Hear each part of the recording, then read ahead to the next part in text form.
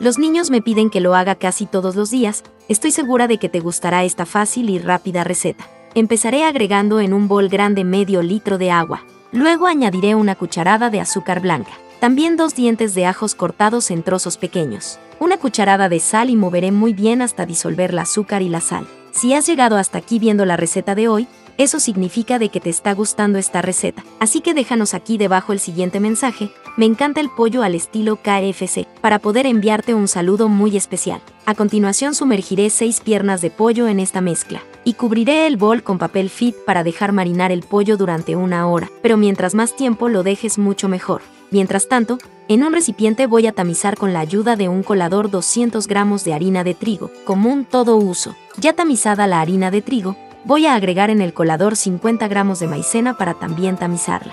No dejen de agregarle la maicena, esta nos ayudará a que nuestro pollo quede bien crocante. Ahora voy a condimentar agregando una cucharadita de paprika, una cucharadita de ajo en polvo, una cucharadita de sal, una cucharadita de orégano, una pizca de pimienta negra y voy a mezclar bien hasta integrar todas estas especias a la harina.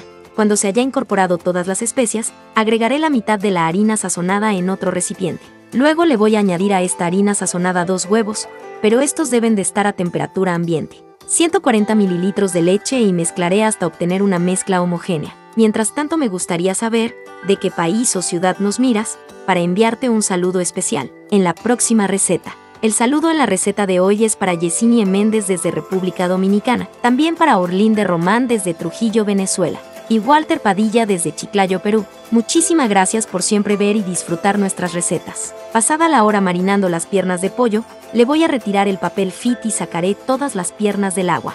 Después le secaré toda el agua con la ayuda de un paño absorbente, para así secarle muy bien el agua a las piernas de pollo. Ya secadas todas las piernas de pollo, la pasaré por la mezcla líquida untándola muy bien con la ayuda de dos tenedores. Luego la pasaré por la mezcla de harina sazonada, untándola muy bien con el tenedor para que la harina se adhiera bien al pollo. Y así de esta manera nos deberían quedar.